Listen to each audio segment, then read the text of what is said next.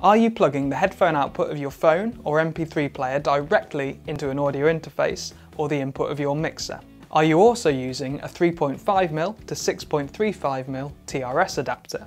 If you are, then you may be noticing that the audio just doesn't sound correct. You might be hearing complete loss of vocals, the bass might sound weak, or you might just be hearing a general level of distortion. This is a phasing issue, which is happening as a result of supplying a mono input with a stereo signal. It can easily be avoided by using the correct type of cable. The correct type of cable that you'll need is a 3.5mm TRS jack that breaks out into two 6.35mm TS jacks. Now here's an example of this cable so that you know exactly what to go shopping for. Once you have your cable, you'll need to utilise one of the stereo input channels on your mixer or two of the mono input channels on your audio interface. Now, with this setup, the audio that you hear from your phone or MP3 player will sound correct.